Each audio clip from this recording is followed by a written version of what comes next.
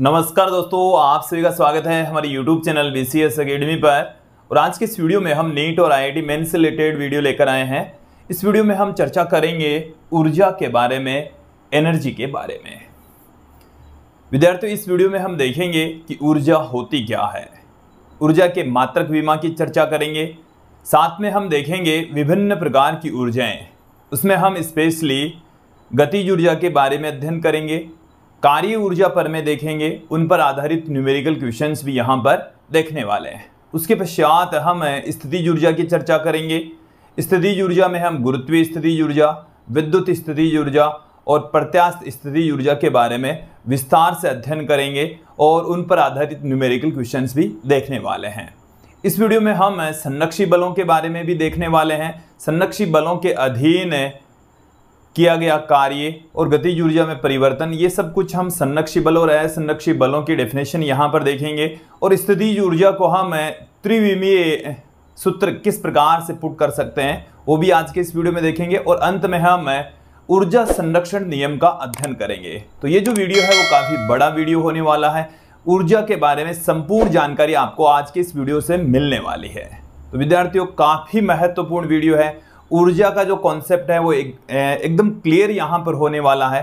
थोड़ा सा बड़ा होगा धैर्य बनाकर आप अंत तक बने रहिए हमारे साथ में। एक एक चीज़ छोटी से छोटी चीज़ यहाँ पर हम क्लियर करेंगे। साथ में न्यूमेरिकल क्वेश्चंस भी यहाँ पर देखने वाले हैं। देखिए छोटे छोटे जब कॉन्सेप्ट क्लियर होंगे तब जाकर आप न्यूमेरिकल क्वेश्चंस या अन्य क्वेश्चंस आसानी से कर पाएँगे। बेसिक यदि आपका क्लियर है तो आप आराम से न्यूमेरिकल क्वेश्चंस कर सकते हैं। देखिए न्यूमेरिकल क्वेश्चन को आपको हैबिट में डालना पड़ेगा और जितनी ज़्यादा आप एक्सरसाइज करेंगे प्रैक्टिस करेंगे, आपके लिए उतना ही बेनिफिट होगा, आपकी स्पीड उतनी ही बढ़ती चली जाएगी। ओके विद्यार्थियों, यदि आप हमारे यूट्यूब चैनल पर नए हैं तो चैनल को सब्सक्राइब कर दीजिए, साथ में बेल आइकन भी दबा दीजिए, ताकि आपको आगे की वीडियोज़ की नोटिफिकेशन मिलते रहें। अब मैं इस वीडियो को स्टार्ट करता हूँ। सबसे पहले मैं बात करता हूँ कि ऊर्जा होती क्या है। तो देखिए विद्यार्थियों, ऊर्जा है कार्य करने की क्षमता। कि कोई भी व्यक्ति है, मशीन है और उसके द्वारा जो कार्य करने की क्षमता है, उसी को ही हम क्या कहते हैं? ऊर्जा। तो ऊर्जा क्या है? एक प्रकार का मशीन या व्यक्ति के द्वारा किया गया कार्य ही होता है। कि किसी व्यक्ति या मशीन द्वारा कार्य करने की जो क्षमता है, उसी को ही हम क्या कहते हैं? ऊर्जा कहते हैं। ऊर्जा के मात्रक विमा, कार्य के मात्रक विमा के समान ही होते हैं। ये भी एक अधिस राशि होती है। तो कुछ महत्वपूर्ण बिंदु में यहाँ पर आपके सामने पुट कर देता हूँ। एक एक करके सभी बिंदुओं का हम अध्ययन करेंगे। तो देखिए, इसकी डेफिनेशन क्या है? किसी वस्तु की। किसी वस्तु या व्यक्ति के कार्य करने की क्षमता। कार्य करने की क्षमता क्या कहलाती है? ऊर्जा कहलाती है। ऊर्जा कहलाती है। ओके? देखिए, ऊर्जा भी एक अधिस राशि होती है। ऊर्जा भी कैसी राशि है? कार्य करने की क्षमता तो कार्य एक अधिस राशि, देन यहाँ पर ऊर्जा भी कैसी राशि है? एक अधिस राशि होती है। कैसी राशि है ये? अधिस राशि है। फिर हम आगे बढ़ते हैं। इसके मात्रक की बात करेंगे विमा की बात करेंगे। तो देखिए, इसका जो स्टैंडर्ड मात्रक है ऐसा ही पद्धति में जो मात्रक है, वो तो होता है जूल। ऐसा ही पद्धति में इसका मात्रक क्या है? जूल है। साथ में सीजीएस पद्धति में इसका मात्रक कार्य के मात्रक के समान अर्घ होता है। और हमने लास्ट वीडियो में जिसमें हमने कार्य के बारे में अध्ययन किया, एक जूल बराबर दस की घात सात अर्घ पड़ा है।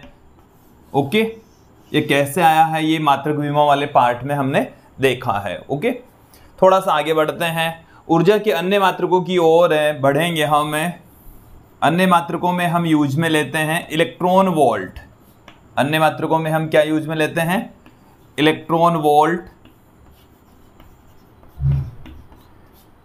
इलेक्ट्रॉन वोल्ट को हम ईवी से प्रदर्शित करते हैं और एक जो इलेक्ट्रॉन वोल्ट होता है वो 1.6 point six into the power minus nineteen विद्युत ऊर्जा को मापने के लिए हम इलेक्ट्रॉन वोल्ट को यूज़ में लेते हैं। स्पेशली विद्युत ऊर्जा को या जब इलेक्ट्रॉनों की स्थिति ऊर्जा, गतिज ऊर्जा की बात करते हैं तो उनको हम इलेक्ट्रॉन वोल्ट में कन्वर्ट करते हैं, क्योंकि ये जो इलेक्ट्रॉन वोल्ट है वो काफ़ी कम ऊर्जा होती है। तो इलेक्ट्रॉन वोल्ट एक पॉइंट छः गुणा की घात माइनस उन्नीस जूल के इक्वल होती है। फिर हम थोड़ा सा और आगे बढ़ते हैं। बात करते हैं किलोवाट घंटा। किलोवाट घंटा। वैसे इसकी थोड़ी सी चर्चा हम अगला जो हमारा वीडियो होगा उसमें भी चर्चा करेंगे। अगला जो वीडियो हम लेकर आएँगे वो शक्ति से रिलेटेड लेकर आएँगे। तो देखिए किलोवाट किलो का मतलब होता है एक हज़ार, वाट ये शक्ति का मात्रक होता है, घंटा ये समय का मात्रक तो शक्ति इंटू समय का जो मात्रक होता है, वो ऊर्जा या कार्य के मात्रक के इक्वल होता है और एक जो किलोवाट घंटा होता है जिसे हम एक के डब्ल्यू एच कहते हैं, तीन पॉइंट छः गुणस की घात छः जूल के इक्वल होता है। फिर हम बात करते हैं कैलोरी की तो जो एक जो कैलोरी है, वो चार पॉइंट एक आठ दो जूल के इक्वल होता है। ओके? तो ये मैंने कुछ मात्रक यहाँ पर लिखे हैं ऊर्जा के, जो देखिए ये जो कैलोरी है, वो उसमें ऊर्जा को मुख्यतः किसको मापेंगे। उसमें ऊर्जा को, ये विद्युत खर्च को मापता है, ये अति सूक्ष्म ऊर्जा का मापन करता है, और सामान्यतः हमारे व्यवहारिक जीवन में हम ऊर्जा को जूल में मापेंगे, और सीजीएस पद्धति में इसको अर्ग में मापेंगे। मैं यहाँ पर इसकी बीमा की बात करता हूँ तो बीमा कार्य की बीमा के समान ही होगी। तो M one L two T minus two इसकी वीमा होगी। ओके? तो ये मैंने कुछ रिलेशन आपस में बता दिए मात्रक के। ओके? अब हम बात करते हैं ऊर्जा के विभिन्न रूप। ऐसे ऊर्जा विभिन्न रूपों में पाई जाती है। मैं एक एक करके नाम बताऊँगा, उनका ज़्यादा विशेष चर्चा हम यहाँ पर नहीं करेंगे। तो देखिए, विभिन्न ऊर्जाएँ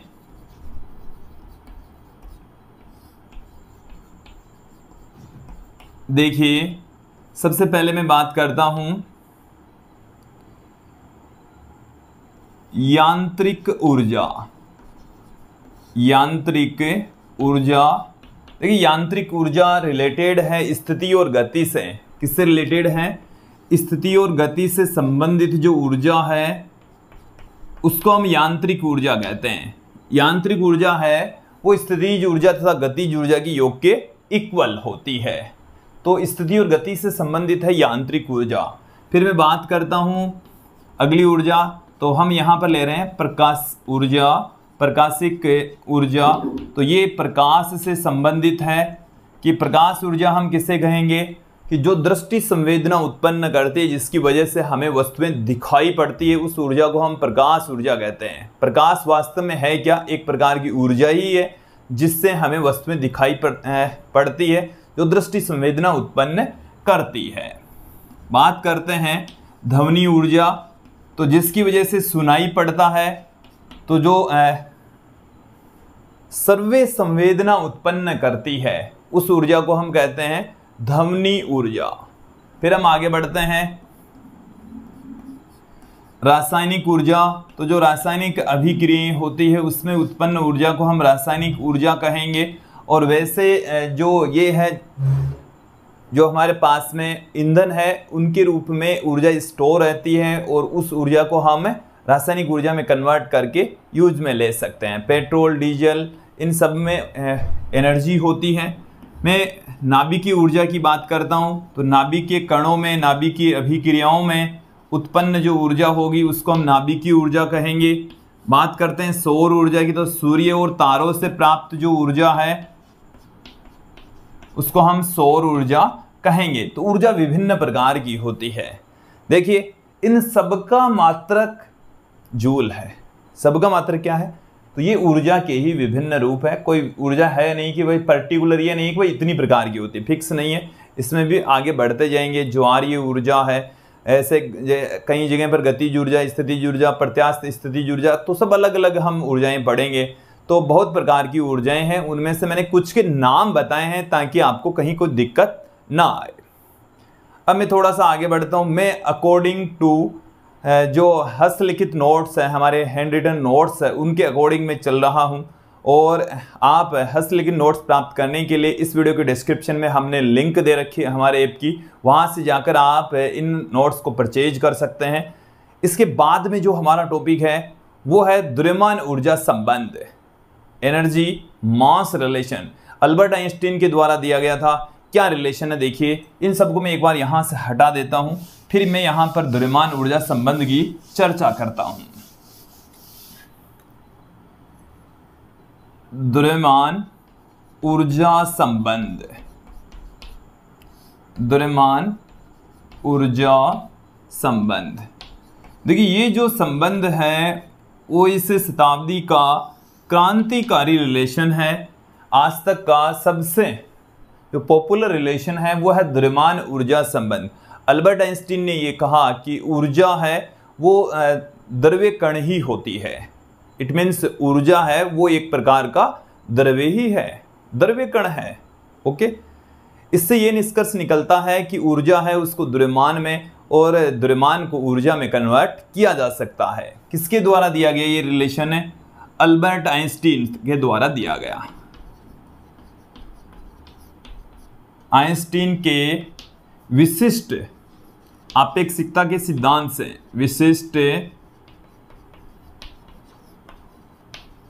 आपेक्षिकता के सिद्धांत से एक रिलेशन दिया गया जो कि द्रव्यमान तथा ऊर्जा के मध्य संबंध को बताता है। देखिए, द्रव्यमान और ऊर्जा के मध्य जो रिलेशन है, वो क्या है? E बराबर होता है M C square E equal to क्या होता है? एम सी स्क्वायर ई यहाँ पर ऊर्जा है एम द्रव्यमान है सी प्रकाश का वेग होता है. जहाँ सी क्या है? सी है प्रकाश का वेग, और जो प्रकाश का वेग होता है, विद्यार्थियों, वो होता है तीन गुणा इसकी घात आठ मीटर प्रति second. Three into ten the power eight metre पर सेकेंड। अब मेरी बात को सुनना। जैसे आपके पास में कोई भी द्रव्यमान है और वो जो द्रव्यमान है कितनी ऊर्जा के तुल्य होता है तो कितनी ऊर्जा की यहाँ पर वो द्रव्यमान पुट करेंगे। यहाँ पर सी का मान तीन गुणा उसकी घात आठ पुट करेंगे तो उसके इक्वल ऊर्जा आ जाएगी जूल में। द्रव्यमान को आपको किलोग्राम में लेना है। क्या ऐसा हो सकता है कि द्रव्यमान है वो ऊर्जा में कन्वर्ट हो जाए? बिल्कुल हो सकता है, विद्यार्थियों। जैसे मैं बात करूँ पेट्रोल पेट्रोल जब जलता है तो उसका द्रव्यमान क्या हो जाता है? ज़ीरो। तो वो जो पेट्रोल है वो गया कहाँ? कहाँ गया? तो वो ऊर्जा में कन्वर्ट हो गया। पेट्रोल, डीजल तो ये जो ईंधन है, वो एक रूप से द्रव्यमान से ऊर्जा में कन्वर्ट हो रहा है। तो वो द्रव्यमान कहाँ गया? तो कहाँ गया? ऊर्जा में कन्वर्ट हो गया। जैसे मैं बात करूँ, हमारे पास में कोई लकड़ी है। पाँच किलोग्राम की लकड़ी का एक टुकड़ा है। इसे हम जला देते हैं। जला देंगे तो इसकी राख हो जाएगी। लेकिन इसकी राख का द्रव्यमान पाँच किलोग्राम से कम होगा। आप ये जानते हैं ये किसी लकड़ी के पाँच किलोग्राम की लकड़ी के टुकड़े को आप जला रहे हैं तो हमें पाँच किलोग्राम राख प्राप्त नहीं होगी, उससे कम होगी। तो द्रव्यमान में कमी आ जाती है, वो द्रव्यमान गया कहाँ? पाँच किलोग्राम हम लकड़ी जला रहे हैं, राख उसकी जैसे मान लीजिए कि हो रही है तीन किलोग्राम। तो वो दो किलोग्राम कहाँ गया? वो ऊर्जा में कन्वर्ट हो गया, क्योंकि लकड़ी को जलाएँगे तो हमें ऊर्जा मिलेगी ना। वो जो ऊर्जा है वो इस संबंध से हम फाइंड आउट कर सकते हैं। ये अल्बर्ट आइंस्टीन के द्वारा दिया गया था। विशिष्ट आपेक्षिकता के सिद्धांत से हम इसको फाइंड आउट करते हैं। ये आपको समझ में आ जानी चाहिए। जो वेलोसिटी ऑफ़ लाइट है, वो three into ten the power eight metre पर सेकेंड होती है। मैं कुछ रिलेशन आपको बता दूँ। जो हमने कहाँ से निकाले हैं? आइंस्टीन के द्रव्यमान ऊर्जा संबंध से निकाले हैं। बात करता हूँ मैं एक ग्राम द्रव्यमान। एक ग्राम, द्रव्यमान कितनी ऊर्जा के तुल्य होगा? तो E बराबर एक ग्राम का मतलब हो गया दस की घात माइनस तीन किलोग्राम। यहाँ पर तो रिलेशन में तो दस की घात माइनस तीन किलोग्राम पुट करना है। तीन गुणा दस की घात आठ का स्क्वायर तो देखिए, ऊर्जा का मान कितना आ गया? तीन का स्क्वायर करेंगे नौ। दस की घात आठ का स्क्वायर करेंगे दस की घात सोलह। सोलह में से तीन गया तो दस की घात तेरह जूल। तो एक ग्राम के इक्वल कितनी ऊर्जा होती है? दस की घात तेरह जूल। एक किलोग्राम के इक्वल कितनी हो जाती? नौ गुणा दस की घात सोलह जूल। ओके मैं एक अन्य रिलेशन और आपको बता दूँ कि एक एटॉमिक मास यूनिट एक परमाणु द्रव्यमान के तुल्य कितनी ऊर्जा होगी? मेरी बात को सुन लीजिए। एक परमाणु द्रव्यमान मात्रक, ये है एटॉमिक मास यूनिट और ये जो एक एटॉमिक मास यूनिट होता है one point six six zero five three nine eight in the power मैं इसको ऐसे लिख दूँ वन पॉइंट सिक्स सेवन लगभग लिखा है मैंने ट्वेंटी सेवन किलोग्राम देन यहाँ से जो ऊर्जा है, आप कैलकुलेट करेंगे तो नौ सौ इकतीस पॉइंट पाँच मेगा इलेक्ट्रॉन वोल्ट प्राप्त होने वाली है। मेगा का मतलब दस की घात छः और इलेक्ट्रॉन वोल्ट का मतलब होता है एक पॉइंट छः गुना दस की घात माइनस उन्नीस जूल। तो एक एटॉमिक मास यूनिट के इक्वल कितनी ऊर्जा होती है? 931.5 मेगा इलेक्ट्रॉन वोल्ट होती है। तो ये था द्रव्यमान ऊर्जा संबंध। अब मैं यहाँ पर चर्चा करूँगा गतिज ऊर्जा की। गतिज ऊर्जा की संपूर्ण यहाँ पर चर्चा करेंगे कि गतिज ऊर्जा होती क्या है, इसको हम किस फॉर्म में कन्वर्ट कर सकते हैं। गतिज ऊर्जा और वेग के बीच में ग्राफ खींचेंगे, गतिज ऊर्जा संवेग के बीच में ग्राफ देखेंगे। फिर हम बात करेंगे इन पर आधारित न्यूमेरिकल क्वेश्चन की। साथ में हम देखेंगे कार्य ऊर्जा पर में। वीडियो में हमारे साथ में यूँ ही बने रहिए। थोड़ा सा धैर्य बनाकर रखना पड़ेगा। थोड़ा सा बड़ा वीडियो है। अब हम चर्चा करेंगे गतिज ऊर्जा के बारे में। गतिज ऊर्जा क्या है? देखिए, नाम से ही स्पष्ट है कि किसी वस्तु, व्यक्ति, पिंड की गति के कारण से उसमें निहित जो ऊर्जा है, उसको हम गतिज ऊर्जा कहते हैं। एक बार फिर से सुन लीजिए। किसी वस्तु की गति के कारण उसमें निहित ऊर्जा क्या होगी? गतिज ऊर्जा होगी काइनेटिक एनर्जी कहलाती है। देखिए, इसे हम गति के तीसरे समीकरण से फाइंड आउट कर सकते हैं। गतिज ऊर्जा का फॉर्मूला होता है एक बट्टा दो एम वी स्क्वायर हर जगह यही फॉर्मूला होता है, चाहे किसी भी पार्टिकल की गतिज ऊर्जा क्यों ना हो। तो गतिज ऊर्जा का एक ही फॉर्मूला होगा हाफ़ एम वी स्क्वायर चले तो गतिज ऊर्जा होती क्या है? वस्तु या पिंड की गति के कारण से उसमें निहित ऊर्जा गतिज ऊर्जा कहलाती है। चलिए, क्या है? वस्तु की गति के कारण। गति के कारण उसमें निहित ऊर्जा मतलब उसमें मौजूद जो ऊर्जा है, निहित का मतलब क्या है? उसमें मौजूद ऊर्जा। उस ऊर्जा को हम क्या कहेंगे? गतिज ऊर्जा कहेंगे। क्या कहा जाएगा? गतिज ऊर्जा कहा जाएगा। अब देखें यहाँ पर, यदि स्मॉल एम द्रव्यमान का पिंड, स्मॉल एम द्रव्यमान का पिंड वी वेग से गति कर रहा है। वी वेग से गति करे। वी वेग से गति करें तो गतिज ऊर्जा क्या हो जाएगी? देखिए गतिज ऊर्जा को हम कैपिटल के से लिखेंगे। किससे लिखा जाएगा? काइनेटिक एनर्जी को कैपिटल कैसे पुट करेंगे। कई जगह पर ई के से भी पुट करते हैं। देखिए, ये होती है हाफ़ एम वी स्क्वायर ये इसका फॉर्मूला है। ओके ये इसका सूत्र है। ये आपको समझ में आ जाना चाहिए। इसे हम संवेग के साथ में भी संबंधित कर सकते हैं। गतिज ऊर्जा और संवेग के बीच में क्या रिलेशन होता है? देखिए के बराबर हम क्या जानते हैं? हाफ़ एम वी स्क्वायर ठीक है? इसको मैं क्या कर दूँ? एम से ऊपर नीचे गुणा कर दूँ। तो ऊपर तो हो गया एम स्क्वायर नीचे हो गया दो M M into V की जगह मैं पी लिख दूँ तो P square by two M आ गया। तो गतिज ऊर्जा का एक रिलेशन आ गया है P square by two M आ गई बात समझ में? गतिज ऊर्जा बराबर क्या आ गया? P square by two M आ चुका है। ओके तो ये रिलेशन भी काफ़ी पॉपुलर है। इस पर आधारित न्यूमेरिकल क्वेश्चन बहुत सारे पूछे जाते हैं। कुछ न्यूमेरिकल क्वेश्चन हमने गतिज ऊर्जा पर आधारित यहाँ पर छाप भी रखे हैं। अब मैं गतिज ऊर्जा वेग के मध्य गतिज ऊर्जा संवेग के मध्य गतिज ऊर्जा द्रव्यमान के मध्य, आपस में कुछ ग्राफ आपको समझा देता हूँ। तो देखिए, यहाँ से जब द्रव्यमान स्थिर होगा तो के है वो वेग के वर्ग के समानुपाती होगा। यहाँ पर द्रव्यमान कांस्टेंट होना चाहिए। तो जब दो राशियाँ, जिनमें से एक के ऊपर स्क्वायर है, एक के ऊपर एक घात है तो ये जो दोनों राशियों का ग्राफ आएगा, वो एक परवलयाकार ग्राफ आता है। कैसा ग्राफ आएगा? परवलयाकार ग्राफ आएगा। और वेग वाली जो अक्सिस है, वेग का जब, जो मान है वो माइनस में प्लस में दोनों तरफ़ होगा। गतिज ऊर्जा वाली एक्सिस के दोनों तरफ़ वेग का ग्राफ आएगा। देखो कैसा ग्राफ आता है। आप देखेंगे।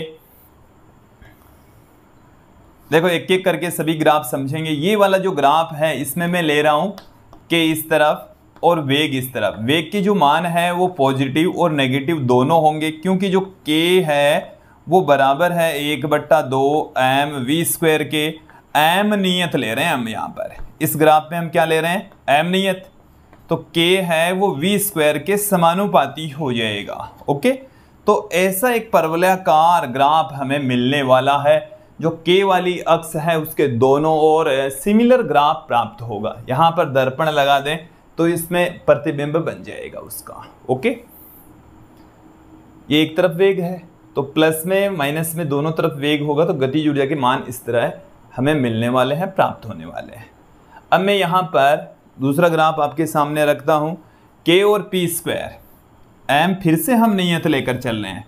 तो एम जब नियत ले लेंगे तो के है वो पी स्क्वायर के समानुपाती होगा। सिमिलर ग्राफ आएगा। एक तरफ़ हम ले रहे हैं के एक तरफ़ हम ले रहे हैं पी ऐसा का ऐसा ग्राफ हमें मिलने वाला है। आ गई बात समझ में?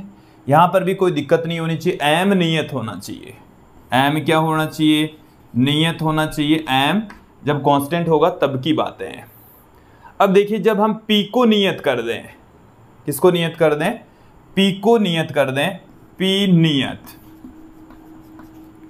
पी जब नियत हो जाएगा तो के और एम के बीच में जो ग्राफ है, एक तरफ़ मैं के ले रहा हूँ मतलब गति ऊर्जा, एक तरफ़ मैं ले रहा हूँ एम तो ये इस तरीके से ग्राफ आएगा, क्योंकि दोनों हैं वो एक दूसरे के व्युत्कर्मानुपाती होंगे। दोनों क्या होंगे? एक दूसरे के व्युत्कर्मानुपाती होंगे। चले मैं एक और ग्राफ आपके सामने रख देता हूँ, पी और अंड्रूड के के बीच में। इन सबको मैं यहाँ से हटा रहा हूँ। मुझे उम्मीद है आप लोगों को आसानी से इजी वे में समझ में आ जाएगा, क्योंकि सीधे सीधे ग्राफ है। यहाँ पर आप देखेंगे, देखो ग्राफ तो आप दो के बीच में रिलेशन लेंगे, वो रिलेशन आपको यदि समझ में आ जाता है तो फिर कहीं कोई दिक्कत नहीं आएगी। मैं यहाँ पर जैसे एम नियत है तो के समानुपाती होगा पी स्क्वायर के। इसको मैं ऐसे भी तो कह सकता हूँ अंड्रूड के समानुपाती है पी के तो एक तरफ़ यदि मान लीजिए आपको अंड्रूड के दे दिए जाए, एक तरफ़ पी दे दिए जाए तो ये दोनों तो एक दूसरे के क्या होंगे? समानुपाती होंगे। जब एम नियत रहेगा एम क्या हो? नियत रहेगा तो ऐसा ग्राफ हमें मिलने वाला है। दोनों एक दूसरे क्या रहेंगे? समानुपाती रहेंगे। तो यहाँ तक कहीं कोई दिक्कत नहीं आनी चाहिए। ग्राफ आराम से इन फॉर्मूलों को देखकर खींच सकते हैं, तैयार कर सकते हैं। आपके पास में गति जुड़ जाएगा। ये वाला फॉर्मूला है संवेग के पदों में P square by two M है। चलिए इन सबको मैं एक बार यहाँ से हटा देता हूँ। ये जो न्यूमेरिकल क्वेश्चन है, एक एक करके इन सबको हम देख लेते हैं। सबसे पहले ऊपर ही ऊपर वाला न्यूमेरिकल क्वेश्चन देखिए, क्या है? क्या कह रहा है? कि एक ग्राम व चार ग्राम के दो पिंड समान गति ऊर्जा से गति कर रहे हैं तो इनके रेखीय संवेगों की निष्पत्ति क्या होगी? देखिए गति ऊर्जाएँ समान है। गति ऊर्जाएँ समान है इट मीन्स के वन बराबर है के टू के। और पहले कण की जो गति ऊर्जा है, वो P one square by two M one बराबर। दूसरे कण की P two square by two M two मुझे क्या चाहिए? इनके संवेगों की निष्पत्ति चाहिए। निष्पत्ति का मतलब अनुपात चाहिए। दो से दो तो कैंसिल हो गया। एम वन बट्टे में क्या आ गया? एम टू आ गया। हमें पी वन बट्टा पी टू चाहिए तो अंडरूड में एम वन बट्टा एम टू कई बार तो क्वेश्चन में ऐसे आ जाता है कि ये एम वन एम टू द्रव्यमान के दो पिंड है, उनकी गति ऊर्जा समान है तो उनके रेखीय संवेगों की निष्पत्ति तब तो ये आएगी। ठीक है? यहाँ पर हमें दोनों द्रव्यमानों की वैल्यू दे रखी है, एक ग्राम और चार ग्राम। देन यहाँ पर पुट कर दीजिए, एक ग्राम और चार ग्राम तो एक अनुपात दो आ जाएगा। इसका आंसर क्या आएगा? एक अनुपात दो आराम से आप समझ सकते हैं। कहीं कोई दिक्कत नहीं है। इजी वे में हमने आपको समझाया है। अगला क्वेश्चन देखिए। ये एक अच्छा क्वेश्चन है। काफ़ी बार कंपटीशन एग्ज़ाम में पूछा जा चुका है। बहुत अच्छा क्वेश्चन है कि यदि किसी पिंड की गति ऊर्जा 300 परसेंट बढ़ा दी जाए तो संवेग में वृद्धि क्या होगी? संवेग में प्रतिशत वृद्धि हमें पूछी है। चलिए देख लीजिए कि प्रारंभिक गतिज ऊर्जा प्रारंभिक गतिज ऊर्जा, हम इस तरीके की गतिज ऊर्जा लेंगे कि उसके साथ में संवेग से संबंधित हो वो। तो के बराबर P square by two M हमने आपको रिलेशन बताया अभी भी। तो यहाँ पर देखें, गतिज ऊर्जा, नई जो गतिज ऊर्जा है, वो पहले वाली गतिज ऊर्जा में कितने परसेंट की वृद्धि कर दी? 300 परसेंट बढ़ा दी है। कितने परसेंट बढ़ा दी है? 300 परसेंट बढ़ा दी है। तो चाहे आप सीधा ही क्या कर दो 400 प्रतिशत कर दो उसको। के गुणा 400 प्रतिशत। या आप कर दो के प्लस के इंटू तीन सौ प्रतिशत। तो के तो है ही, और इसके अंदर कितनी बढ़ा दी इसमें 300 परसेंट बढ़ा दी। तो इसको मैं क्या लिख दूँ? के प्लस के इंटू तीन सौ परसेंट के जगह मैं यहाँ पर सौ कर दूँगा। तो ये क्या आ गया? के प्लस थ्री के ये आ गया हमारे पास में फोर के तो के डेज़ कितना आ गया? फोर के आ गया। के डेज़ कितना आ गया है? फोर के चलिए प्रारंभिक जो संवेग है वो कितना था?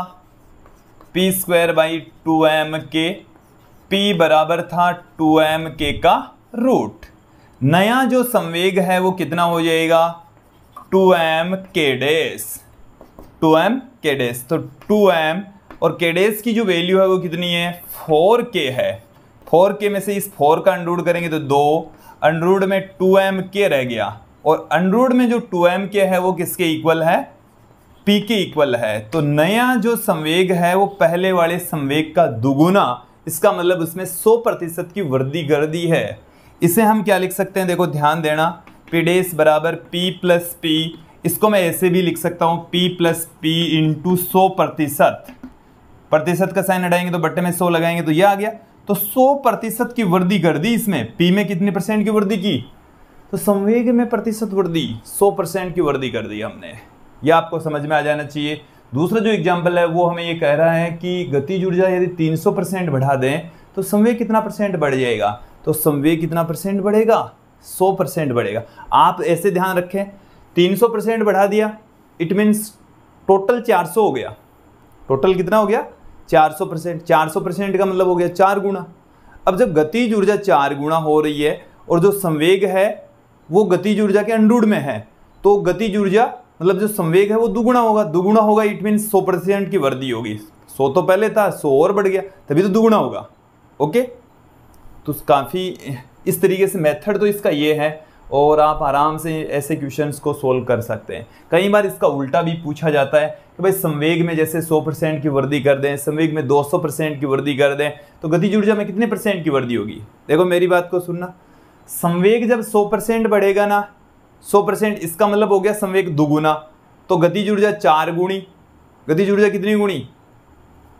मेरे, चले, ये क्वेश्चन तो आ ही गया आपको समझ में। अब मैं थोड़ा सा इसमें हिंट देता हूँ आपको कैसे करेंगे आप। जैसे पी में 100 परसेंट की वृद्धि। 100 परसेंट की वृद्धि करते ही जो पी है, वो 2P हो गया। पी क्या हो गया? 2P और जब संवेग में 100 परसेंट की वृद्धि होगी ना तो गतिज ऊर्जा तो क्या होती है? P square by two M होती है ना। तो गतिज ऊर्जा हो जाएगी चार के और चार के का मतलब क्या हो गया? के प्लस थ्री के तीन सौ परसेंट की वृद्धि।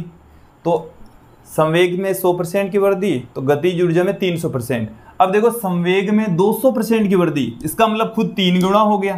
तीन गुणा का स्क्वायर तीन का स्क्वायर करेंगे तो नो के नो के यहाँ पर क्या आएगा? नो के तो इसका मतलब के प्लस आठ के तो 800 परसेंट की वृद्धि हो गई। कितना परसेंट की वृद्धि हो गई? 800 परसेंट। तो ये आपको समझ में आ जाना चाहिए अच्छे से आ जाना चाहिए। अगले क्वेश्चन की ओर बढ़ते हैं। कि तीन किलोग्राम द्रव्यमान की एक गत, वस्तु की गतिज ऊर्जा क्या होगी? यदि उसका संवेग दो न्यूटन इंटू सेकेंड है गतिज ऊर्जा हमें पूछी है हमें द्रव्यमान दे रखा है संवेग दे रखा है दो का स्क्वायर बट्टे में दो गुणा तीन। तो चार बट्टे में क्या आ गया? छह आ गया। दो बट्टे में तीन जूल आ गया। ओके?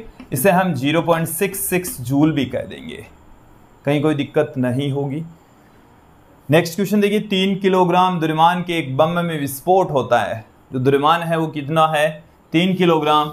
और उसमें हो रहा है विस्फोट। विस्फोट होने के बाद में क्या हो रहा था, था ये दो किलोग्राम तथा एक किलोग्राम के टुकड़ों में टूट जाता है। छोटे द्रव्यमान का वेग 80 मीटर प्रति सेकंड है तो टुकड़ों की कुल गति ऊर्जा कितनी होगी? देखिए विद्यार्थी मैं आपको बता दूँ कि पिंड स्थिर अवस्था में है तो दो टुकड़े हैं तो एक टुकड़ा इधर गया एक टुकड़ा इधर गया। अरे ऐसे ही जाएँगे। कोई सी दो दिशाओं में जाएँगे ओके? तो यहाँ पर जो m1 है, ये m2 है, इसका वेग v1 है। इसका वेग v2 में कंसिडर कर लूँ। तो जो कुल जो संवेग है m1 v1 vector plus m2 V two vector बराबर ज़ीरो होना है, क्योंकि प्रारंभिक संवेग ज़ीरो था। तो एम वन वी वन बराबर आ गया एम टू वी टू परिमाण में मैंने ऐसे लिख दिया। तो यहाँ पर मुझे वी टू चाहिए तो एम वन बट्टे में एम टू इंटू में वी वन एम वन का मान कितना? दो। एम वन का मान कितना? दो। देखिए हमें बड़े टुकड़े का द्रव्यमान चाहिए। किसका द्रव्यमान चाहिए? सॉरी किसका वेग चाहिए? जैसे छोटे द्रव्यमान का जो वेग है, वो तो 80 है तो ये V2 कह दूँ मैं इसको। छोटा द्रव्यमान क्या मान लें? तो V1 चाहिए अपन को। M2 बट्टे में M1 वन इंटू तो M2 तो है दो। M2 यहाँ पर है एक और एम वन है दो। तो छोटा जो द्रव्यमान है, वो है एक किलोग्राम। बड़ा जो द्रव्यमान है, वो दो। छोटे वाले का द्रव्यमान कितना है? अस्सी। तो ये वी वन बराबर आ गया चालीस। अब गतिज ऊर्जा टोटल जो गतिज ऊर्जा होगी half M one V one square plus half M two V two square हो जाएगी। यहाँ पर वैल्यू पुट कर दीजिए, एक बट्टा दो। पहले पिंड का जो द्रव्यमान है, वो कितना है? दो। दो वाले का वे कितना है? चालीस। दूसरे वाले पिंड का द्रव्यमान एक। द्रव्यमान वे कितना है? अस्सी। तो यहाँ से दो से दो कैंसिल हो गया। चालीस का जो स्क्वायर है, वो सोलह सौ आ गया। आठ का स्क्वायर चौंसठ सौ चौंसठ सौ में दो का भाग लगाएँगे, बत्तीस सौ आ गया। चार हज़ार आठ सौ जूल यहाँ पर हमें मिलने वाला है, ओके? तो ये चार हज़ार आठ सौ जूल हमें प्राप्त हो गया। तो ये गतिज ऊर्जा पर आधारित कुछ क्वेश्चंस थे। अब मैं यहाँ पर चर्चा करूँगा कार्य ऊर्जा परमे की। चलिए, अब यहाँ पर हम चर्चा करेंगे कार्य ऊर्जा परमे की। तो देखिए, कार्य ऊर्जा परमे का जो स्टेटमेंट है, वो क्या है? कि यदि किसी वस्तु के ऊपर बल लग रहा है तो उस बल के अधीन वस्तु थोड़ी सी विस्थापित हो जाती है। इट मीन्स कार्य होता है। तो वस्तु पर किया गया कार्य, उसकी गति ऊर्जा में परिवर्तन के तुल्य होता है। यही है कार्य ऊर्जा पर में कार्य ऊर्जा पर में एक बार सुन लीजिए। कि किसी वस्तु पर किया गया कार्य उसकी गति ऊर्जा में परिवर्तन के इक्वल होता है। चले मैं यहाँ पर पुट कर देता हूँ। किसी वस्तु पर किया गया कार्य, किसी वस्तु पर किया गया कार्य, किया गया कार्य उसकी गतिज ऊर्जा में परिवर्तन के तुल्य होता है। उसकी गतिज ऊर्जा में परिवर्तन। गतिज ऊर्जा में परिवर्तन।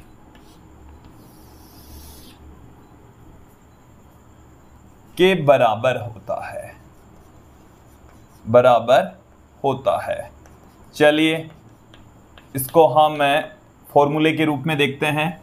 कार्य को हम लिख रहे हैं डब्ल्यू से। और ये गतिज ऊर्जा में परिवर्तन के इक्वल होगा। कार्य किसके तुल्य होगा? गतिज ऊर्जा में परिवर्तन के। गतिज ऊर्जा में जो परिवर्तन है, इसको हम लिख सकते हैं कि अंतिम गतिज ऊर्जा माइनस प्रारंभिक गतिज ऊर्जा। अंतिम गतिज ऊर्जा माइनस प्रारंभिक गतिज ऊर्जा। हम गतिज ऊर्जा का फॉर्मूला जानते हैं, एक बट्टा दो M V F square minus V I square क्योंकि एक बट्टा दो एम तो दोनों में आएगा। उसको हमने यहाँ पर कॉमन ले लिया।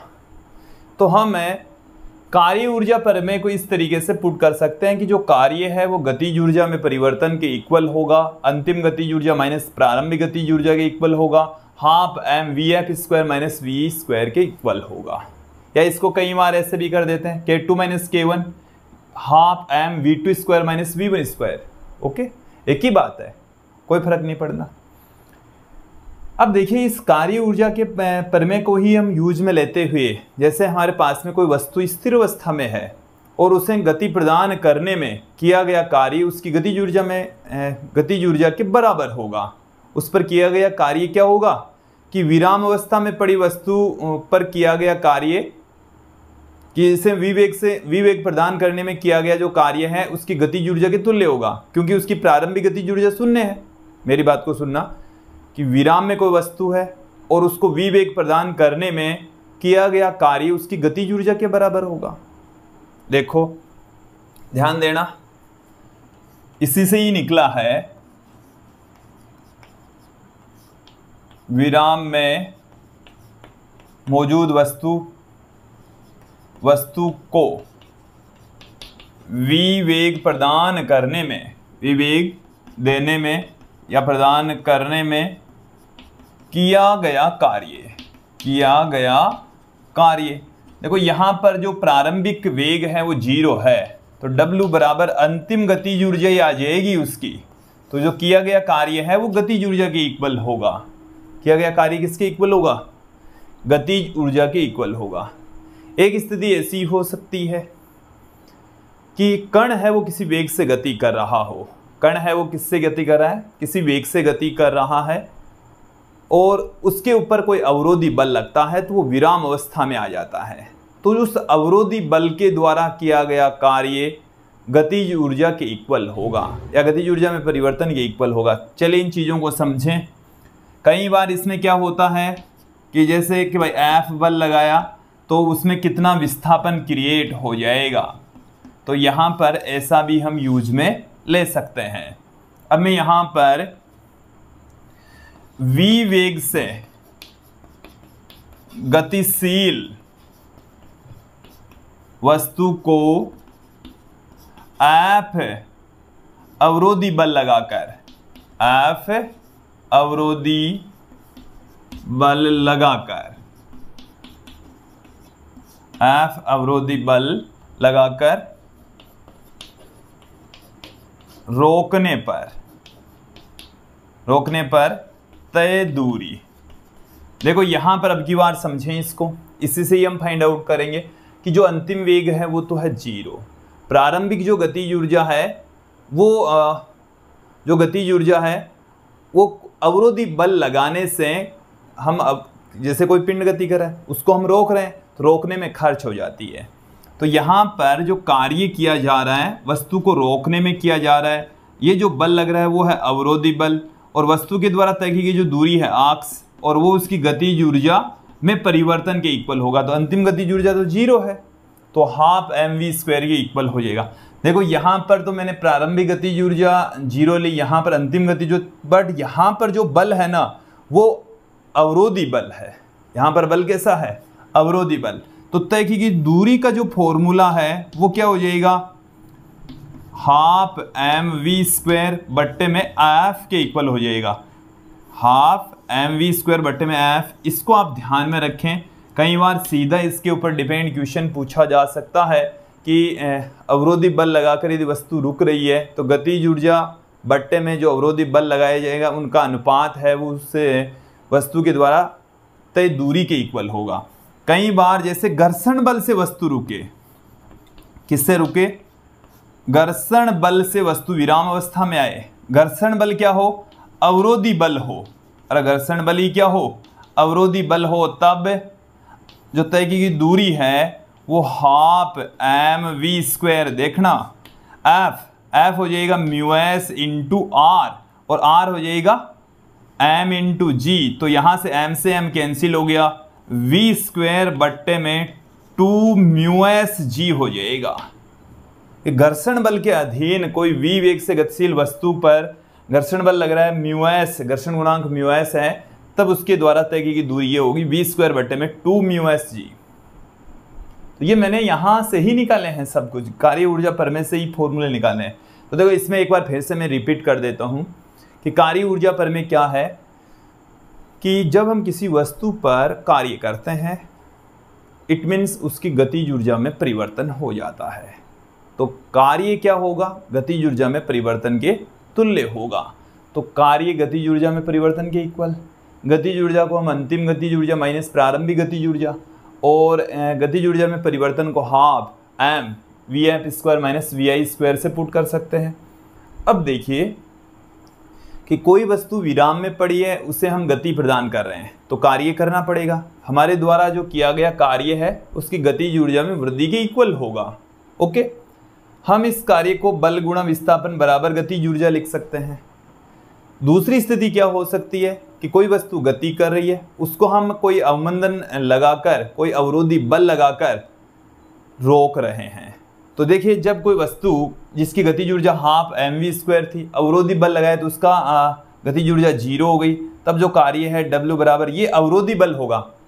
देखो, ये प्रारंभिक गति ऊर्जा माइनस अंतिम गति अंतिम गतिज ऊर्जा ज़ीरो है, वैसे ये माइनस में होगी तो ये अवरोधी बल होने के कारण से माइनस माइनस क्या हो जाएगा, प्लस हो जाएगा। तब जो तय की दूरी है, वो गतिज ऊर्जा बट्टे में अवरोधी बल की इक्वल होगा, ओके? यहाँ पर देखें, यदि अवरोधी बल क्या हो, घर्षण बल हो, और घर्षण बल हमने पहले पढ़ लिया है, घर्षण बल क्या पढ़ा हमने? घर्षण बल क्या होता है? यहाँ पर जो अवरोधी बल है, वो घर्षण बल है, और घर्षण बल देखिए, होता है म्यूएस इंटू आर और आर बराबर होता है एम जी तो यहाँ पर मैंने पुट कर दिया एफ़ बराबर अवरोधी बल, घर्षण बल। घर्षण बल है mu S M G M से एम कैंसिल हो गया V square upon two mu S G आ गया। ओके यहाँ तक समझ में आ गया होगा। अब हम कुछ क्वेश्चंस देख लेते हैं। देखिए, पहला क्वेश्चन देखें।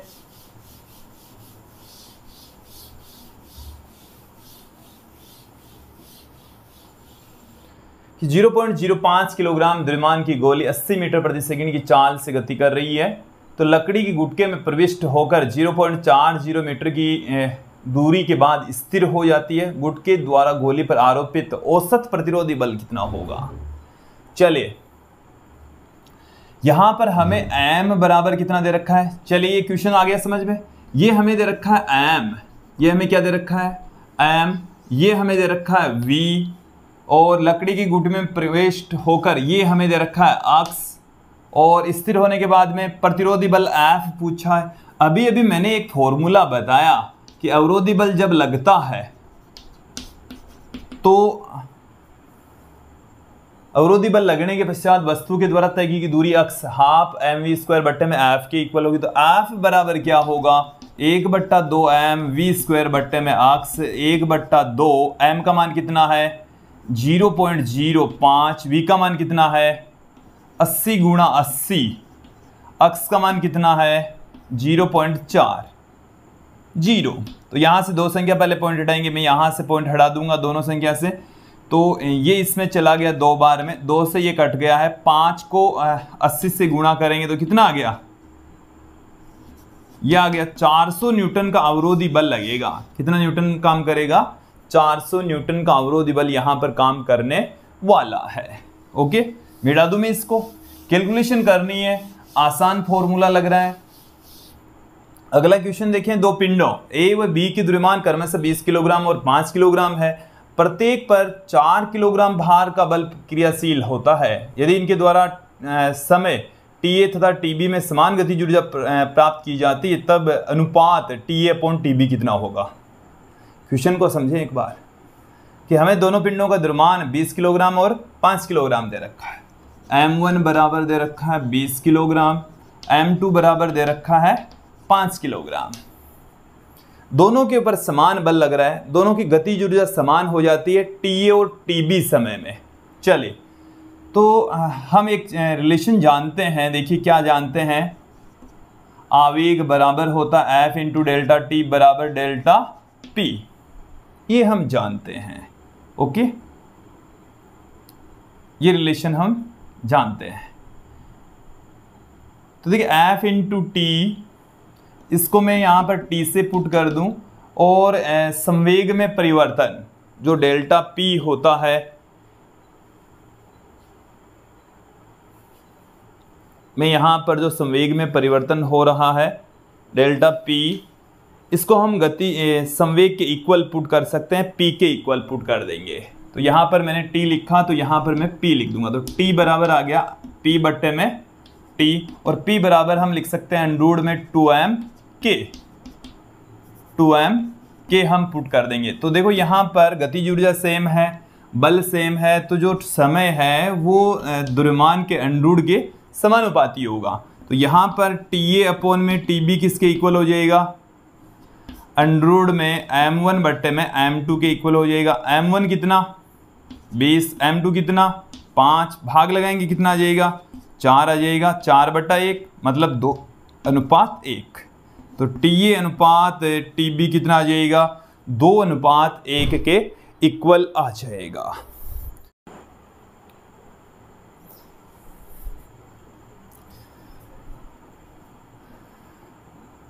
विद्यार्थियों, ये था ऊर्जा का हमारा पहला पार्ट। ऊर्जा के सेकंड पार्ट में हम बात करेंगे स्थितिज ऊर्जा के बारे में, कि स्थितिज ऊर्जा होती क्या है। स्थितिज ऊर्जा में हम गुरुत्वीय स्थितिज ऊर्जा, चुंबकीय स्थितिज ऊर्जा, विद्युत स्थितिज ऊर्जा, प्रत्यास्थ स्थितिज ऊर्जा, इन ऊर्जाओं की बात करेंगे, चर्चा करेंगे। आज के इस वीडियो में इतना ही। अगले वीडियो में फिर मिलते हैं। ऊर्जा से रिलेटेड ही वीडियो लेकर आएँगे। आज के लिए इतना ही। धन्यवाद दोस्तों।